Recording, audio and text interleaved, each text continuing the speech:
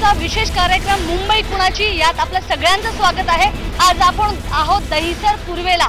दहिसर पूर्वेला सगळ्यात मोठी जर कोणती समस्या असेल तर ती आहे वाहतुकीची कोंडी टोल नाक्यामुळे. दुसरी मोठी समस्या की फक्त आठवीपर्यंत पालिकेच्या शाळा आहेत. नववी दहावीची शाळाच नाही आहे हे दोन मुख्य समस्यांसह अनेक महत्त्वाच्या समस्यांवर आपण चर्चा करणार आहोत. त्यासाठी विविध पक्षाचे लोक आपल्याबरोबर आहेत. संजय घाडी आहेत शिवसेनेचे आपल्याबरोबर. आपल्याबरोबर प्रकाश दरेकर आहेत. बीजेपीचे नगरसेवक आपल्याबरोबर आहेत. मनसेच्या शाखाध्यक्ष आणि त्याचबरोबर इतर महिला आहेत. त्यानंतर आपल्याबरोबर आहेत अभय चौबे जे काँग्रेसचे आहेत.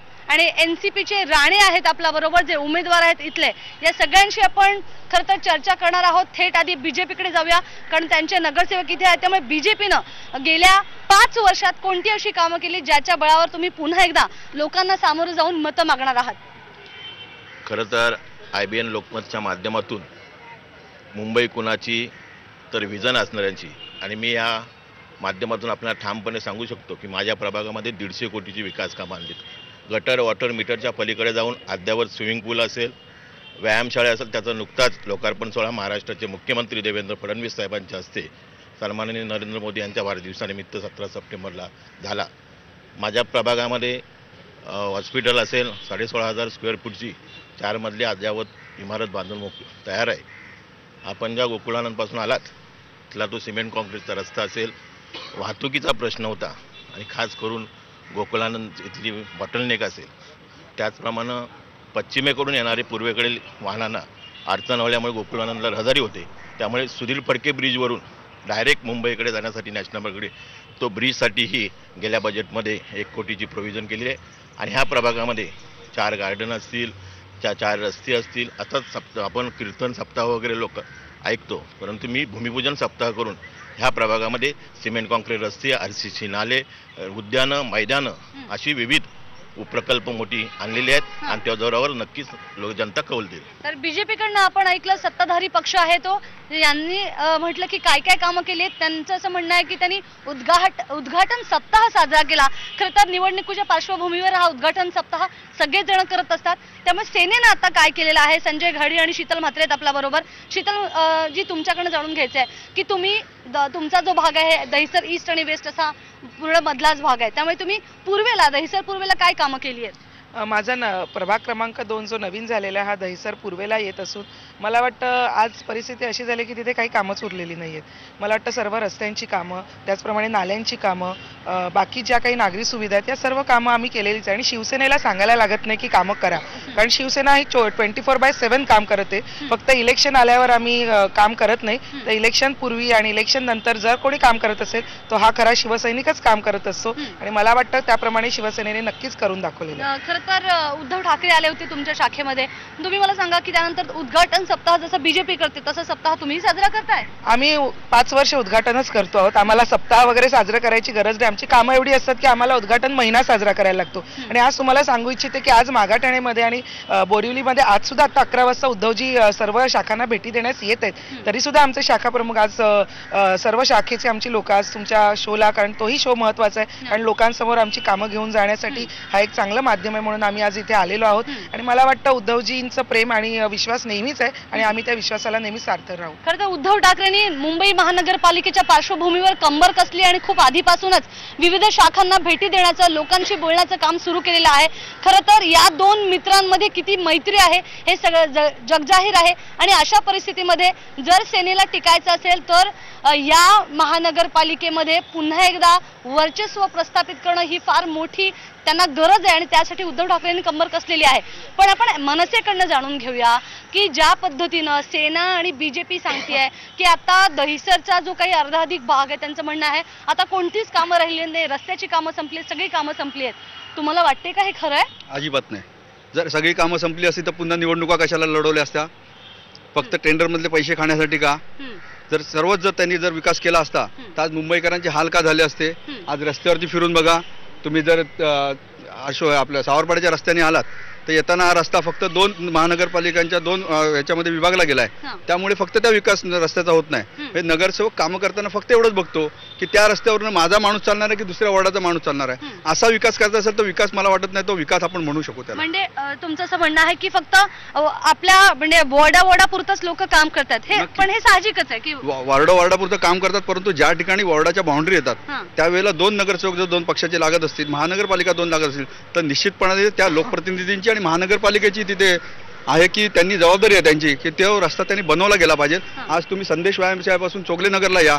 आज जाऊन आता तुम्ही हा कार्यक्रम संपल्यानंतर बघा की हा रस्त्याची काय दिवाणी परिस्थिती आहे. नक्कीच.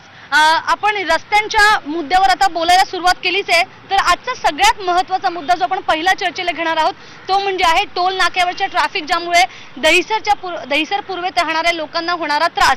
आपल्याबरोबर अभय चौबेंकडनं आपण जाणून घेणार आहोत. अभयजी हा जो टोल नाका आहे ज्या पद्धतीनं वाहनांची कोंडी अगदी दहिसर ब्रिज पार करून मागच्या बोरिवलीच्या बाजूपर्यंत येते त्याच्यामुळे इथे चालणं किंवा इथे गाडी चालवणं कठीण आहे. कसं आहे? सोपं आहे? काय? मॅडम फार कठीण आहे. जर तुम्ही शनिवार किंवा रविवारी बघाल तर मोस्टली मुंबईची पब्लिक ही बाहेर जाते. तर फिरताना जाताना तुम्ही बघाल ती ट्रॅफिक संपूर्ण नॅशनल पार्क पर्यंत पोहोचते. आणि त्या ठिकाणी ट्रॅफिकचं किंवा महानगरपालिका कोणाचाही काही कंट्रोल नाही. एक तर रस्त्यावर खड्डे त्याच्यात त्यातनं त्यात ही नवीन प्रॉब्लेम आहे. खरं म्हणजे टोल नाका हा शिफ्ट व्हायला पाहिजे होता मागे. हां. पण तो शिफ्ट नव्हता ही मुंबईच्या हद्दीत आलेला. आहे. त्यामुळे काय होतं की पुन्हा ट्रॅफिक ही मागच्या साईडला शिफ्ट होतं. आणि इथल्या स्थानिक लोकांना ज्यांना पण क्रॉस करून जायचं असेल किंवा हायवे वर जायचं असेल ती पूर्ण ट्रॅफिक या साईडला पसरली जाते. आणि लोकांना वाहतूक कोंडी फेस करावं लागतात खड्ड्यांचा प्रॉब्लेम फेस आहे तो फेस करावा लागतो हे कळत नाही की महानगरपालिकेचे जे सत्ता पक्ष आहे ते काम करत आहे की नाही करत आहे फक्त ते दाखवतात आहे. की आम्ही काम करतोय आम्ही खड्डे बुजवतोय पण ते ऍक्च्युली तसं काही होत नाहीये. ट्रॅफिकवर कंट्रोल नाहीये हां. फक्त फक्त दाखवणं आहे इलेक्शन आलंय की उद्घाटन दाखवतात. आम्ही उद्घाटन. फक्त ते उद्घाटनच्या नावावर फक्त उद्घाटन होतं ते काम होत नाहीये म्हणजे असं अजिबात. नाहीये फक्त. हे दाखवणं आहे त्यांचं की इलेक्शन आले आम्ही काम करतोय आम्ही मोठं गाजा वाजवून करून हे दाखवतोय पण प्रत्यक्षात लोकांसमोर काही काम नाही लोकांना त्रास होत हां. आहे काही ऍक्शन घेत नाहीये त्यांचा कंट्रोल नाहीये NCP महानगरपालिकेवर कडनं हा जाणून घेऊया की बीजेपी सत्तेत आहे राज्यामध्ये शिवसेनेची सत्ता आहे इतकी वर्ष पालिकेमध्ये. या ह्याच्यामध्ये काही फरक पडलाय का इथे? की जैसे तेच आहे रस्त्यांची आणि ट्रॅफिकची दुर्दशा? उलट समस्या दिवसेंदिवस जटिल होत चालली आहे. हं. ट्रॅफिकचा प्रश्न आहे टोल नाक्यामुळे वाढतंय ट्रॅफिक जसं आणि माझ्या मित्रांनी सांगितलं त्याप्रमाणे राहिला प्रश्न खड्ड्याचा. गेली दहा वर्ष आम्ही दहा वर्ष आम्ही खड्डे पाहतो खड्ड्यातून आम्ही चालतो प्रवाशांना लोकांना रहदारीला भयंकर त्रास होतो. राहिला पिण्याचा पाण्याचा प्रश्न. जो ह्या मतदारसंघाशी निगडीत आहे. है इथे आवाज केला जातो. इथं सांगितलं जातं की पिणं पिण्याचं पाणी मुबलक आहे म्हणून. पण आजही पिण्याचं पाणी मुबलक नाही आणि जे पाणी आज मिळतं रहिवाशांना तुटपुंज पाणी त्या पाण्याचा प्रेशर दाब जो आहे. आजही मोठ्या प्रमाणात कमी असल्या आपण या संदर्भात बोलणार आहोत पण आपण सध्या रस्त्याच्या मुद्द्यावर आहोत. खरं तर टोल नाक्यामुळे जी काही ट्रॅफिक कोंडी होते तुमच्याकडेच येते बीजेपीकडे कारण सत्ता तुमची आहे राज्यात. टोल नाक्यांसंदर्भातले निर्णय तुम्हीच घ्यायचे आहेत. इथे सत्ता तुमची आहे आणि असं असताना या टोल नाक्या संदर्भात आणि त्याची होणाऱ्या वाहतूक कोंडी संदर्भात तुम्ही का काही करत नाही आहात? प्रथमतः आपण माझ्या मित्राने जो रस्त्याचा उल्लेख केला सावरपाडा ते चोगले नगर आणि या आय बी एन लोकमतच्या माध्यमातून सांगायला मला अभिमान वाटतोय की त्या पाच मध्ये अफेक्टेड रोड लोक आहेत. त्यांना शिफ्टिंग या एस आर एमध्ये शिफ्ट झाल्यानंतर त्वरित तशा प्रकारचा रस्ता केला जाईल. आणि प्रामुख्यानं केलं जाईल. म्हणजे प्रोसेस सुरू आहे बाकी महिनाभरात सुरू होईल. आणि तशा प्रकारचं मी प्रामुख्यानं माझ्या प्रभागामध्ये रस्ते असतील गटर लाईन असेल पाण्याची समस्या असेल आज आपण माझ्या प्रभागामध्ये तर एकही रस्ता. माझ्या कारकिर्दीमध्ये नव्यानं झाला नाही असं भेटणार नाही. बरं पण मग टोल नाक्याचं काय? टोल नाक्या संदर्भातलं आपण कारण आता चर्चा आपण करतोय ती टोल नाक्यावर करतोय. हा टोल नाका शिफ्ट करण्यासंदर्भात किंवा टोल नाक्यांवरची वाहनांची जी थांबण्याची वेळ आहे कारण भलेही हे नगरसेवकांचं काम नाही पण राज्यात सत्ता तुमची आहे. त्यामुळे दहिसरसाठी काहीतरी करायची इच्छा होती का तुमची? काही केलं का तुम्ही यासाठी? टोल नाक्याचा विषय महाराष्ट्राच्या मुख्यमंत्र्यांनी आणि सन्माननीय सार्वजनिक बांधकाम खात्याचे मंत्री पाटील साहेबांनी. मनावर घेतलाय आणि भविष्यामध्ये मुंबई शहरच. नव्हे संपूर्ण राज्य टोलमुक्त होईल अशा प्रकारची सरकारची भावना आहे. खरं तर बीजेपीचा मित्रपक्ष शिव शिवसेनेकडनं जाणून घेऊया कारण शिवसेनेची याच्या नेमकी विरोधी भूमिका आहे. की टोल नाक्या संदर्भातली तुमची भूमिका काय आहे? आता अभय चौबेचं ते बाईट तुम्हाला देत होते मी ऐकलं. हं. गेली पंधरा वर्ष काँग्रेसचा तिथे नगरसेवक आहे. की नक्कीपाडा विभाग तीन नंबरमध्ये येतो. आणि संपूर्ण तो वन विभागामध्ये येत असल्यामुळे. तिथे कुठल्याही पद्धतीचं या ज्या काँग्रेसच्या शीतल आपण- नगरसेविका आहेत की पाडाचा इश्यू घेणार आहोत नक्कीच नाही परंतु टोल नाका टोल नाका त्यांची पंधरा वर्ष नगरसेविका आहे हा. त्यांची सत्ता पंधरा वर्ष काँग्रेस राष्ट्रवादीची होती मग तेव्हा त्यांनी केलं नाही का त्यांनी केलं नाही म्हणून नाही, आम्ही करतो ना आम्ही का? आम्ही प्रयत्न? करतोय ना मॅडम मी आपले प्रथम आभार मानतो मनपूर्वक की आपण आमचे विचार सर्वांपर्यंत पोहोचवत आहे टोलनाक्याच्या संदर्भामध्ये शिवसेना आणि भारतीय जनता पार्टीच्या युतीच्या शासनानं. अनेक टोल माप्यांवरती छोटी वाहनं आपण दहिसरचं आपण बोलूया दहिसरलाही देखील ही छोटी छोटी वाहनं आहेत ती मुक्त केलेली आहेत. अजून त्यांच्या ॲग्रीमेंटचा काळ पूर्ण व्हायचा आहे. आणि तो झाल्याच्यानंतर या ठिकाणचा टोल हटवला जाईल म्हणजे अशा आणखी प्रकारची आणखी वीस वर्ष. आज जी अग्रीमेंट आहे हट- अग्रीमेंटमध्ये आपण हटवण्यासंदर्भात बोलतच नाही आहोत. आपण बोलत आहोत की नक्की नक्की ट्रॅफिकचा प्रश्न आहे. ट्रॅफिक या ठिकाणी टोल नाक्यावरती पैसे घेण्याच्या वेळेला जो वेळ लागतो विलंब लागतो. त्याच्यामुळे बराचसं ट्रॅफिक या ठिकाणी होतं आणि त्याचा खोळंबा होतोय. ही वस्तुस्थिती आहे. पण याच्यावरती युती शास शासनाच्या वतीनं. याच्यावरती पर्याय काढण्यासाठी शिवसेना आणि भारतीय जनता पार्टीच्या वतीनं आम्ही माननीय मुख्यमंत्री आमचे मंत्री महोदय आहेत एकनाथ शिंदे साहेब यांना देखील आम्ही निवेदन देऊन त्यावरती विचार करण्याला बाजूच्या निवेदनं देण्याचीच कामं सुरू आहेत पण नेमकं केलंय काय? आणि ने- म्हणजे जसं उत्तर असतं प्रत्येक सत्ताधाऱ्याचं तसंच आहे हे की आम्ही करतोय आम्ही करणार आहोत पण टोल नाक्यांच्या या प्रश्नावर अजूनही व्यवस्थित उत्तर मिळालं नाहीये. पुढे ब्रेक नंतर आपण वेगळा प्रश्न घेणार आहोत पण सध्या वेळ झाली आहे. एक छोट्याशा ब्रेकची कुठे जाऊ नका पाहत रहा I B N Lokmat.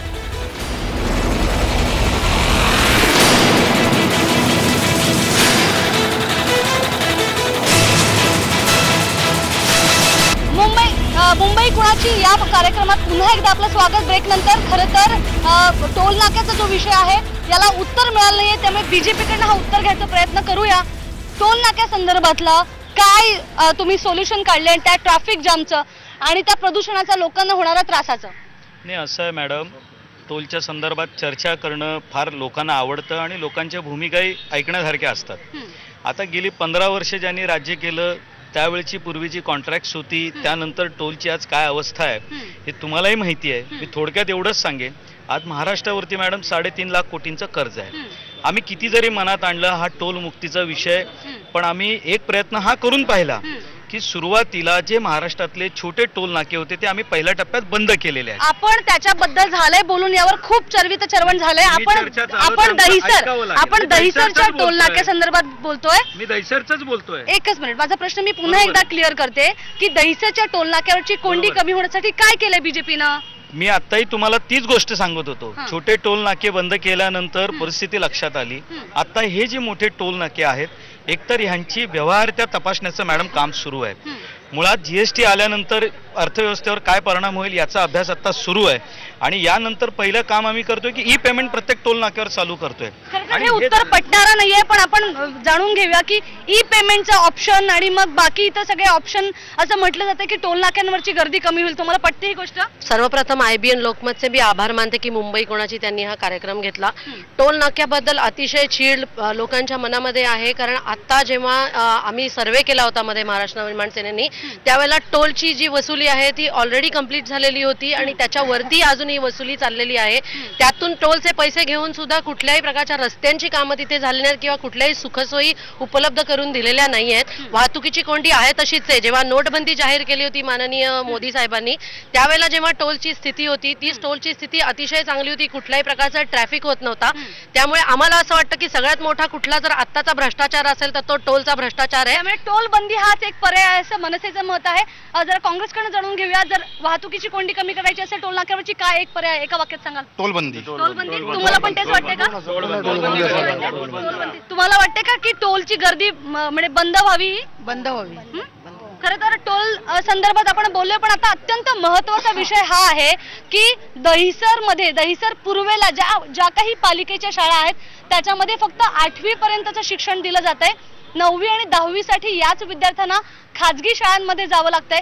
सेना बीजेपीची सत्ता आहे. असं असताना मात्र नववी आणि दहावीसाठी का प्रयत्न केले जात नाही? काँग्रेसनं खरं तर हा प्रश्न उपस्थित केला. आपण त्यांच्याकडनं जाणून घेऊया. चौबेजी तुमचं काय म्हणणं आहे या शाळांसंदर्भातलं? मॅडम बावीस साल मुंबई बेहाल हा प्रकार शिवसेनेने आणि भाजपाने केलेला आहे. याचं एक उदाहरण सांगतो. आज दहिसर एवढं बावीस वर्षापासून ह्यांचंच राज चाललेलं आहे. पण दहिसरमध्ये आठवीच्या वरती महानगरपालिकेची एकही शाळा नाहीये. जर ह्यांनी करून दाखवलं असेल तर त्यांनी दाखवावं कुठे केलेलं आहे. आणि नववी दहावीच्या मुलांना मग जर ऍडमिशन घ्यायचं असेल नववीला तर मग त्यांना कुठे मॅडम एक तर? बोरिवली राजडा त्या ठिकाणी जावं लागतं दुसऱ्या दुसऱ्या एरियात जावं लागतं पण दहिसरमध्ये एकही नाही. किंवा प्रायव्हेट शाळेत ऍडमिशन घ्यावं मग लागतं. खाजगी शाळांमध्ये अशा वेळेला किती भुर्दंड पडतो? मॅडम फार त्रास होतो लोकांना. कारण का महानगरपालिकेत एक जे महानगरपालिका लोकांना सवलती देते ती त्या प्रायव्हेट स्कूलमध्ये भेटत नाही. मग त्यांना एकदम एक तर गरीब घरची मुलं ते महानगरपालिकेच्या शाळेत जातात. जर प्रायव्हेटमध्ये गेलं तर त्यांची फीस जास्त असते त्यांना साहित्य भेटत नाही त्यांना हा त्रास होणारा फार एक तर लांब जावं लागतो सगळ्यात मोठा. हा मेजर प्रॉब्लेम आहे या ठिकाणीचा. बरं. जर आपण एनसीपी कडे जाणून घेऊया की जी गरीब आणि झोपडपट्टीत राहणारी मुलं आहेत. तर जर त्यांना पालिकेच्या शाळामध्ये शिक्षण मिळत नाही मग अशा वेळेला शिक्षण थांबतं काय होतं नेमकं? पोरांना शाळेत घेत नाही. बोलतात म्युन्सिपाल्टीचे पोरं आहे. यांना शिक्षण काय देणार बोलले? आम्हाला मी एक आमचे हाय मेंबर त्यांच्याबरोबर मी गेलेली. तर बोलले की म्युन्सिपाल्टीच्या पोरांना आमच्या शाळेत जागा नाही. तर ते पोरं कुठे जातील मग? किती तसे पेरेंट्स आहे बरं. खरं तर झोपडपट्टी म्हटलं तर त्या या झोपडपट्टीतल्या मुलांची खरं तर शिकण्याची इच्छा अत्यंत कमी असते. परिस्थिती फारशी अनुकूल नसते आणि अशा परिस्थितीत ती मुलं शिक्षण घेत असतील त्यांना मोफत शिक्षण मिळत नसेल किंवा मग नववी दहावी पालिकेची शाळा नसेल तर मग नेमकं कोणत्या त्रासाला त्यांना सामोरं जावं लागतं? पालिकेची शाळा आज मला वाटत नाही की या बोरिवली दहिसरमध्ये सातवीच्या पुढे कुठली महानगरपालिकेची शाळा आहे. सातवी नंतर प्रत्येक विद्यार्थ्याला महानगरपालिकेची शाळा सोडून प्रायव्हेट शाळेमध्ये हे ऍडमिशन घ्यावंच लागतं. मग या ऍडमिशनसाठी साधारणतः काय खर्च येतो? या ॲडमिशनसाठी ज्याप्रमाणे शाळेत ज्या आपल्या मुलाला ज्या शाळेत टाकायचं त्याप्रमाणे ती शाळा त्या ठिकाणी फी आकारणी करते. मग त्याच्या मागून त्यांचं डोनेशन आहे. या सगळ्या गोष्टी आहेत. आणि हे आजच्या लोकांना म्हणजे ज्या पद्धतीने तुम्ही जर दहिसर बघितलं तर ज्या स्लममध्ये राहणाऱ्या लोकांना हे परवडणारं नसतं. आणि मग शाळेच्या त्या परीक्षेच्या वेळेला त्यांना कुठेतरी अडवणूक केली जाते शाळेकडनं की बाबा फी भरा नाही तर तुम्हाला परीक्षेला बसून दिलं नाही नाही. अशी खूप उदाहरणं आहेत. आहेत आमच्याकडे आम्ही मी तुम्हाला दाखवू शकतो ते बोलू शकतील याच्यावरती की लोकांना फी फी भरली नाही म्हणून शाळेत बसायला दिलं नाही. हा अधिकार कोणता दिला? कोणी दिला? बरोबर. खरं तर बऱ्याच मोठ्या मोठ्या बाता केल्या जातात सत्ताधाऱ्यांकडनं पण नेमकं शिक्षणासारखा मूलभूत अधिकार मुलांना मिळावा यासाठी वाटत नाही का दरेकर तुम्हाला की एखाद्या शाळेसाठी प्रयत्न करावा वरच्या वर्गांसाठी प्रयत्न करावा? मॅडम मी मूळतः विद्यार्थी चळवळीतून राजकीय प्रवाहात आलेला आहे. मुंबई विद्यापीठात सिनेट सदस्य गेली चार गेली चार वर्ष मुंबई महानगरपालिकेचा शिक्षण समितीचा सदस्य म्हणून त्या प्रभागा कारण एक ते चौदा वयोगटापर्यंत शिक्षण देणं हे मुंबई महानगरपालिकेचं कर्तव्य आहे. परंतु त्याही पलीकडे जाऊन दहावीपर्यंत अनेक शाळांमध्ये महानगरपालिकेच्या माध्यमातून शिक्षण सुरू केलेलं आहे. आणि काही ठिकाणी ज्युनियर काही. ठिकाणी. ज्युनियर कॉलेजही सुरू केलीत. आणि भविष्यामध्ये महानगरपालिकेच्या माध्यमातून प्राथमिक शिक्षण देण्याची जबाबदारी आहे. परंतु माध्यमिक शिक्षण देण्यासाठी जे जे प्रयत्न करता येतील ते महापालिकेच्या माध्यमातून राज्य सरकारच्या माध्यमातून आम्ही करू. करू. पण केले नाही चालू आहेत. काही- काही ठिकाणी चालू आहेत. बीजेपीच्या महिलांकडनं जाणून घेऊया की तुमच्या घरातला समजा एखादा मुलगा शिकत नसेल अशा वेळेला तुम्ही काय करता?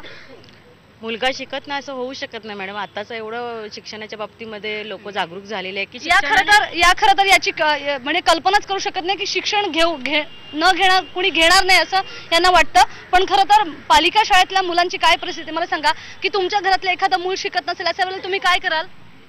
आमच्या घरातलं जर मूल शिकत नसेल तर आमच्याकडनं संस्थेने अशा प्रायव्हेट ज्या संस्था आहेत जे मुलं शिकत नाहीत त्यासाठी बऱ्याचशा अशा महिलांच्या संस्था आहेत त्या जाऊन चौकशी करून तिथे सर्वे करून तुम्ही काय कराल सांगा? तुमच्या घरातलं एखादं मूल शिकत नसेल तेव्हा तुम्ही काय कराल?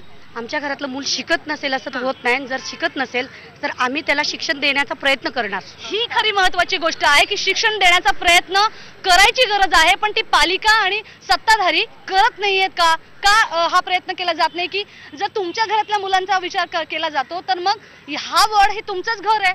मला वाटतं आपण मुंबई महानगरपालिकेबद्दल बोलतोय. आणि मुंबई महानगरपालिकेमध्ये पहिली ते सातवी हे. शिक्षण देणं हे महानगरपालिकेची जबाबदारी आहे. त्याच्या पुढचं शिक्षण देणं ही राज्य सरकारची जबाबदारी आहे. तरी सुद्धा अनेक ठिकाणी महानगरपालिकेतर्फे पुढचे वर्ग देखील चालवले जातात. आणि या संदर्भात जी काही गाईडलाईन आहे त्या पद्धतीने आम्ही अनेक ठिकाणी वर्ग सुरू केलेले आहेत. परंतु मला वाटतं की प्रत्येक वेळेला ही जबाबदारी महानगरपालिकेवर ढकलण्याचा प्रयत्न होतो. आता तुम्ही टोल नाक्यांबद्दल बोलात ही सुद्धा शासनाची जबाबदारी ही सुद्धा मुंबई महानगरपालिकेवर ढकलण्याचा प्रयत्न होतो. मला वाटतं कुठेतरी आपण बायफर्केशन केलं पाहिजे की मुंबई महानगरपालिकेचं काम काय. आणि शासनाचं काम काय जबाबदारीबद्दल तुम्ही म्हणालात पण कर्तव्य म्हणून ही काहीतरी त्या नगरसेवकांची तिथल्या सत्ताधाऱ्यांची गोष्ट असते की त्या भागातला मुलगा शिकावा मुलगी शिकावी यासाठी यासाठी प्रयत्न करावे. बरोबर आहे. तुमचं म्हणणं बरोबर आहे. यासाठी आपल्याला बऱ्याच इन्फ्रास्ट्रक्चर वाढवायला लागतील नवीन शिक्षक घ्यायला लागतील आणि नवीन डेव्हलपमेंट प्लॅनमध्ये आम्ही नक्कीच ही मागणी केलेली आहे की आम्हाला प्रत्येक ठिकाणी सेकंडरी शिक्षण पाहिजे आहे. इनफॅक्ट बारावी पर्यंत कॉलेजेसची सुद्धा आम्ही मागणी केली. मला तर नवीन डेव्हलपमेंट प्लॅन जेव्हा पास होईल तर नक्कीच आपल्याला ही जागा मिळेल आणि जागा मिळाल्यावर आम्ही नक्कीच हे करणार आहोत. आणि मला वाटतं डेव्हलपमेंट प्लॅन चालूच आहे. ज्यांनी या प्रश्नाला वाचा फोडल्या पण त्यांच्याकडे जाणून घेऊया. आता शीतल म्हात्रेंचं म्हणणं आहे किंवा आता यांचं म्हणणं आहे की याच्यापुढे आता तुम्हाला बघायला असं मिळेल. पण मग इतकी वर्ष का नाही. मॅडम हे तेच म्हणणं आहे. बावीस वर्ष राज्य केलं यांनी. असं नाही एक दोन वर्ष. बावीस वर्ष यांना जागाच मिळाली नाही. मग ह्याच्यापेक्षा जास्त दुर्दैव काय असू शकतं? की लहान म्हणजे स्लम एरियात राहणाऱ्या मुलांना जर बावीस वर्ष एक शाळेसाठी जागा हे अवेलेबल करू शकले नाही दहावीच्या वरती अवेलेबल आठवीच्या वरती अवेलेबल करू देऊ शकले नाही मग पुढे काय करणार? हे फक्त आश्वासन आहेत. इलेक्शन आले की इलेक्शन आले की फक्त हे लोक आश्वासनं देतात की आम्ही हे करू कॉलेज बांधू शाळा बांधू पण तसं प्रत्यक्षात होत नाहीये. बावीस वर्ष हेच होत आले म्हणजे टॅब दिला जातोय पण साधं म्हणजे टॅबपेक्षा पण गरज आहे की साधं मूलभूत शिक्षण ते दिलं जात नाहीये. अगर आप स्वतः किती शिकलात? मैं एमबीए हूँ अभी हाँ। फिलहाल लॉ कर रहा हूँ। हाँ।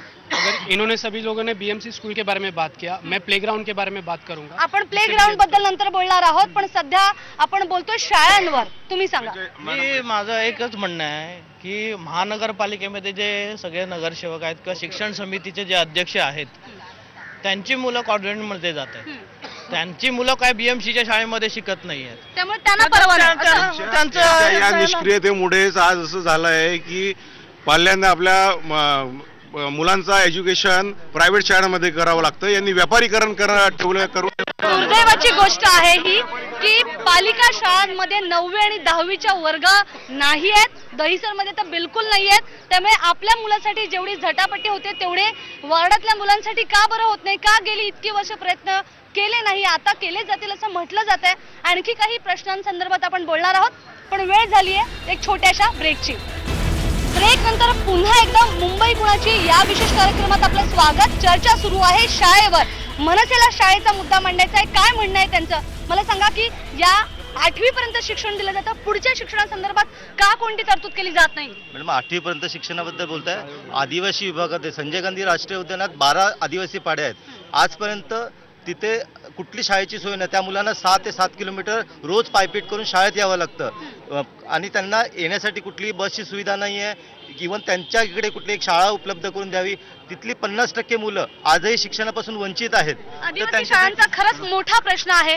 तुम्ही सांगा शाळा संदर्भात काय म्हणायचं मॅडम या सरकारने टॅब दिले नवीन सुविधा दिल्या. पण शाळेतल्या शिक्षणाचा दर्जा काय? महानगरपालिकेच्या शाळांमध्ये इथली किती लोकांची मुलं शिकतायत? आज दर्जा नाही सुधारला तर महानगरपालिकेतल्या शाळांचं भवितव्य शून्य आहे. इथल्या दर्जाची बातचीत केली जाते पण खरा प्रश्न आहे की सातवी म्हणजे आठवी नंतरच्या शिक्षणासाठी काही सुविधाच नाहीये. जेव्हा एखादा मुलगा मला सांगा की एखादा मुलगा किंवा एखादी मुलगी शिक्षणाबाहेर होते तेव्हा नेमकं काय होतं? जेव्हा मुलगा किंवा मुलगी शिक्षणाबाहेर होते जेव्हा त्याची शाळा सुटते शाळा सुटल्यानंतर एक तर आठवीपर्यंत ही जी परीक्षा परीक्षा घेत नाहीत त्यामुळे तो मुलगा अभ्यासच करत नाहीत. आणि दहिसर ईस्टमध्ये आठवीच्या नंतरची शाळा नाही आहे दहिसर पूर्वेमध्ये जास्तीत जास्त गरीब लोक राहतात. बहुजन जेव्हा मुलगा हा शाळेबाहेर होतो तेव्हा नेमकं काय होतं ते सांगा मला. ज्यावेळी मुलगा शाळेच्या बाहेर येतो त्या पूर्ण स्लम एरिया झोपडपट्टी एरिया असल्यामुळे तिथे जास्तीत जास्त व्यसनाधीन झालेली आहेत मुलं असं निदर्शन निदर्शनात येतं. आणि व्यसनमुक्ती अभियानासाठी शासन काहीच करत नाही. मी स्वतः व्यसनमुक्ती अभियान चालवत आहे. जवळजवळ साडेचार हजार पॅम्पलेट वाटलेले आहेत आणि व्यसनमुक्तीसाठी मी काम करत आहे. सगळ्यात महत्त्वाचं काम म्हणजे शिक्षणाचं पण झालं. आठवीच्या पुढची शाळा दहिसर पूर्वेमध्ये झालीच पाहिजे. नक्कीच. ही मागणी खूप महत्वाची आहे की आठवीच्या पुढे शिक्षण हे व्यवस्थित मिळालं पाहिजे. आपल्या बरोबर खरं तर शिवसेनेनं उत्तर दिलेलं आहे की प्रयत्न त्यांचा सुरू आहे. आणखी काहीतरी म्हणायचं आहे? बोला. काय म्हणायचं तुम्हाला? मुंबई महानगरपालिका शिवसेना भाजपची सत्ता असल्यामुळे नेहमी तिथे शाळेमध्ये प्रोत्साहन दिलं जातं वेगवेगळ्या माध्यमातून. मुलांना कसं चांगलं शिक्षण मिळेल या पद्धतीने आम्ही नेहमीच शिवसेनेचे नगरसेवक तिथे लक्ष ठेवून आहेत. हे बघितलं गेलंय. तुम्ही टाय वाटप केले तुम्ही शूज वाटप केले पण तुम्ही आठ म्हणजे नववी आणि दहावी संदर्भात का बरं काय कोणतं पाऊल उचललं नाहीये? मॅडम कसं आहे की ह्या शिक्षणाच्या संदर्भामध्ये महानगरपालिकेने गेली बावीस वर्ष या शिक्षणाचा दर्जा चांगला व्हावा याच्यासाठी प्रयत्न केली. प्राथमिक शिक्षणाचा. बरोबर. आणि म्हणूनच बावीस वर्ष लोकांनी विश्वास ठेवून या शिवसेना भाजपाच्या युतीच्या कारभारावरती विश्वास ठेवून त्यांना सत्ता देत राहिली. मला दुर्दैव वाटलं दुर्दैव वाटलं? चौबे साहेबांनी जे म्हटलं की बावीस वर्ष यांनी काहीच केलं नाही. अहो चाळीस पंचेचाळीस वर्ष काँग्रेस राष्ट्रवादीची सत्ता होती राज्यात. आठवीच्या पुढे शैक्षणिक शिक्षण देणं यांचं काम होतं. यांनी केले घोटाळे. यांनी सगळे कोळसा घोटाळा केलं. आणि म्हणून आता आणि म्हणून आता कायम विरोधामध्ये बसण्याचं काम बावीस जनतेनं यांच्यावरती सोपवलेलं आहे. बावीस वर्षानं याच्या येणारी पुढची पाच वर्ष सुद्धा शिवसेनेचाच महापौर बसेल असं मी ते त्यांना सांगू शकतो आपल्या माध्यमातून. याचं उत्तर खरं तर याचं उत्तर खरं तर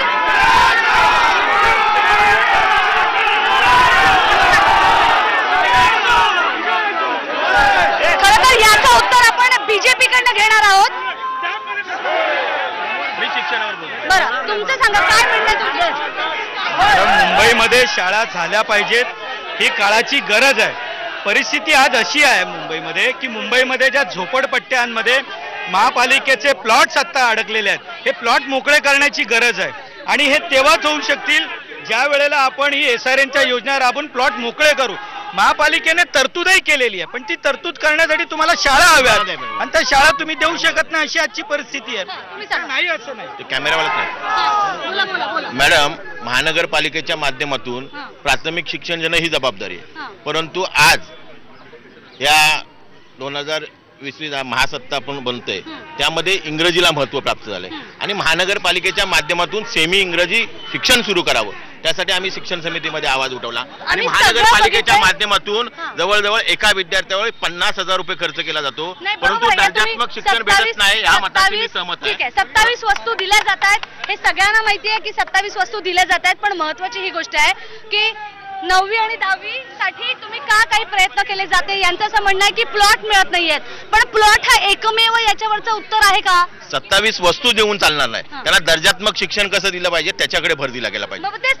मुंबई? महानगरपालिकेच्या माध्यमातून पर स्टुडंट पन्नास हजारच्या दरम्यान खर्च करतो. आपण प्रायव्हेट जी हायफाय शाळा आहेत त्याच्यावर वीस हजार खर्च होतो. दरेकाच्या बरं खर्च जास्त करतो परंतु आपण. चांगल्या प्रकारचं दर्जात्मक शिक्षण द्यायला महानगरपालिका कमी पडते आणि तशा प्रकारचं दर्जात्मक शिक्षण देण्याची योजना केली गेली पाहिजे. दर्जात्मक शिक्षण द्यायला महापालिका कमी पडते हे मान्य केलेलं आहे त्यांनी. आणि खरं तर बघितलं तर शिवसेनेचं प्राबल्य आहे. तुमच्याकडनं म्हणजे तुमचा मित्र पक्षच म्हणतोय की तुम्ही कमी पडताय? मित्र पक्ष काय म्हणतो याच्यापेक्षा लोकांना माहिती आहे की आम्ही काय करतो. आणि लोकांना माहिती आहे की आम्ही कशा पद्धतीचं शिक्षण देतो. म्हणून आज मुंबई महानगरपालिकेमध्ये ज्या अत्याधुनिक तंत्रज्ञानानुसार शिक्षण दिलं जातं आणि ज्या पद्धतीने मुलांना अगदी तळागाळातल्या मुलांना देखील त्यांना खाऊचं वाटप केलं जातं. त्यांना बावीस वस्तू आपण मोफत देतो वेळेवर देतो.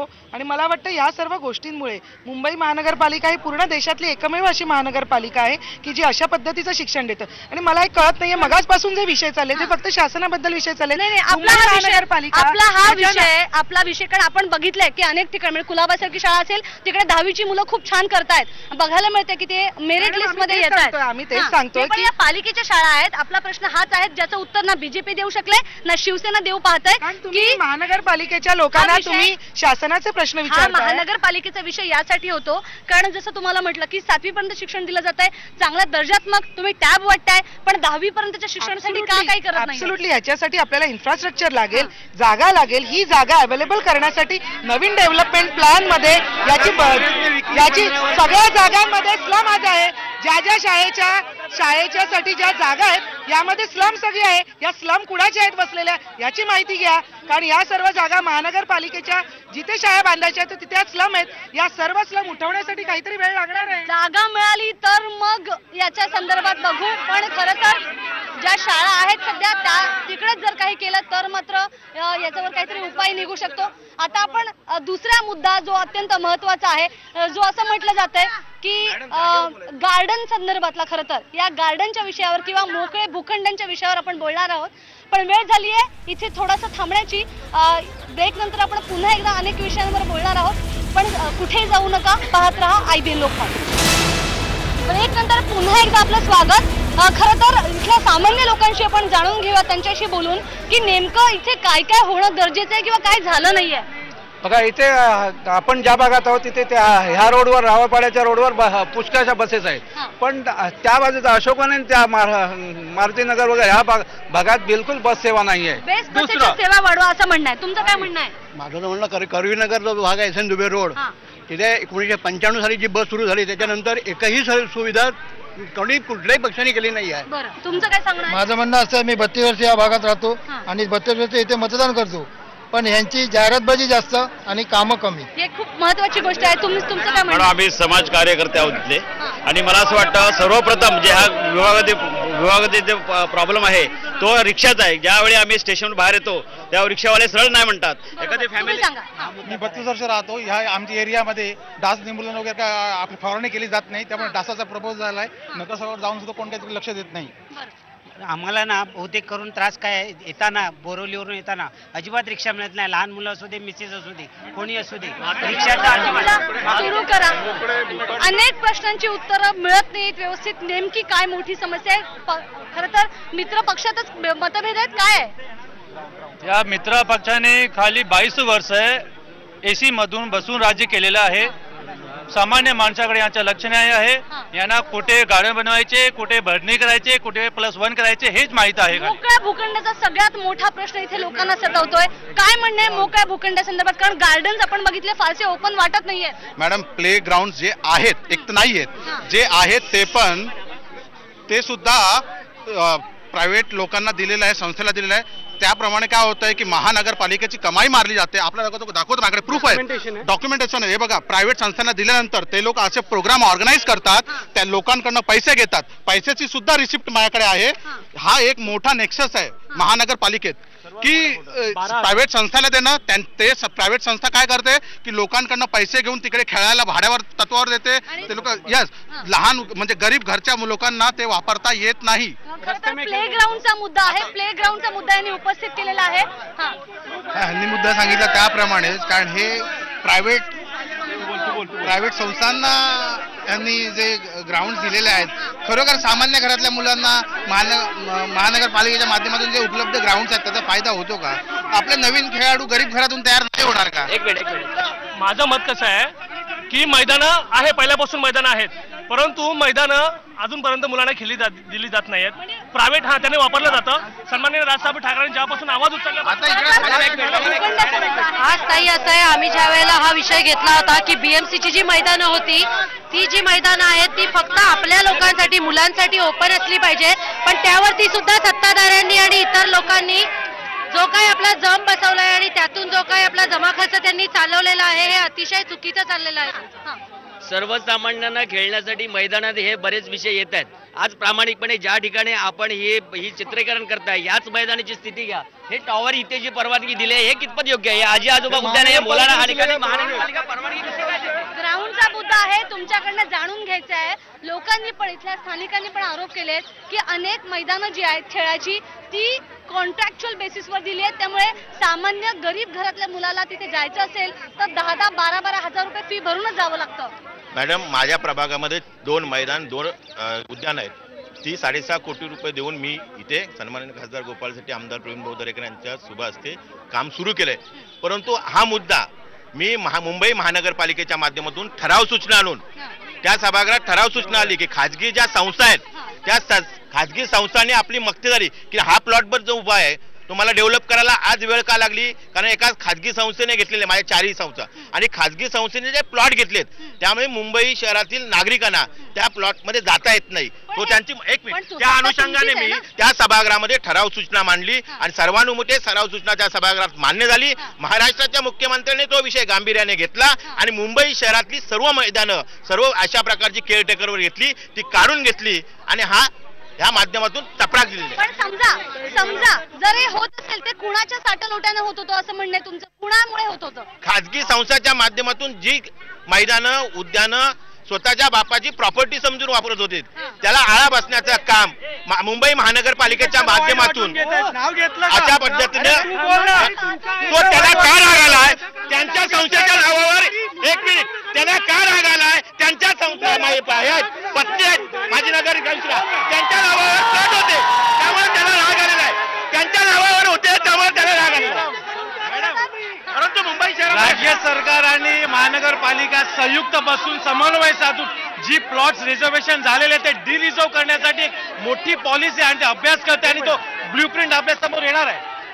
मॅडम उत्तर मुंबईमध्ये जेवढे पण मैदान आहेत आता बघा खासदार गोपाळ शेट्टी साहेबांनी उद्याने निर्माण केली पण मालाड सारख्या एरियामध्ये तिकडे अतिक्रमण होतं.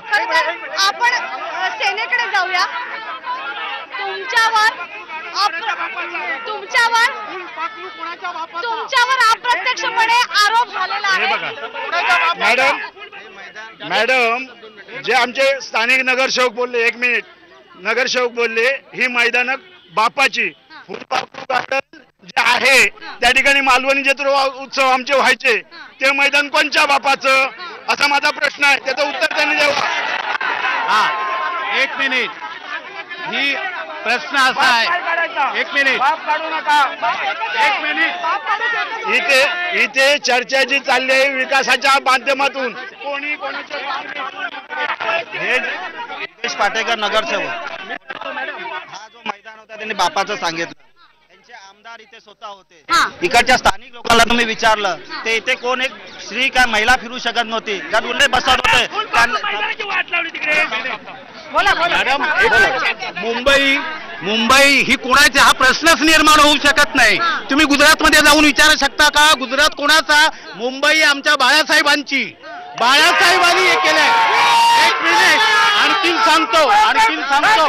त्यामुळे एक मिनिट. त्यामुळे एक हे हे प्रश्नच निर्माण होत नाहीत. मुंबई कोणाची? एक मिनिट. हे प्रश्नच निर्माण होत नाहीत.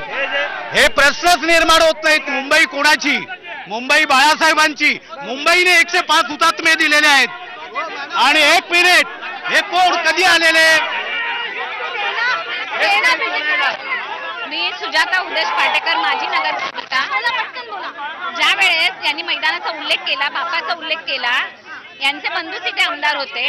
आणि मग तुम्ही मुंबई महानगरपालिकेत जाऊन बघा. महाराष्ट्रासाठी यांनी काय केलं? गिरणी कामगार रस्त्यावरती आला. मॅडम एकच भाग होता ते बाळासाहेब ठाकरे. त्यानंतर हे लोक खाली मुखवटा लावत आहे. त्यांच्या नावाने त्यांच्या भावनाने घेण्यात आले लोक. हे लोकांना सेना आणि बीजेपी मधला वितुष्ट बाहेर आलेला आहे. दोघंही पक्ष एकमेकांशी भांडताना बघायला मिळतात. सेनेचं आणि बीजेपीचं जे नातं होतं जी मैत्री होती ती पालिकेत पण कशी आहे आणि इथे कसं आहे आपल्याला बघायला मिळालं. त्यामुळे सातत्यानं यांची गुणगुणही बघायला मिळत असते आणि त्यामुळे विकास खुंटतो तो या शहराचा. वेळ झाली इथेच थांबण्याची. आणखी मुंबई कुणाची या प्रश्नाचं उत्तर आपण वेगळ्या ठिकाणी जाऊन घेणार आहोत पण सध्या इथे मात्र आपण पाहतोय सत्तेतल्याच दोन मित्रांचं जसं भांडण चव्हाट्यावर आलंय.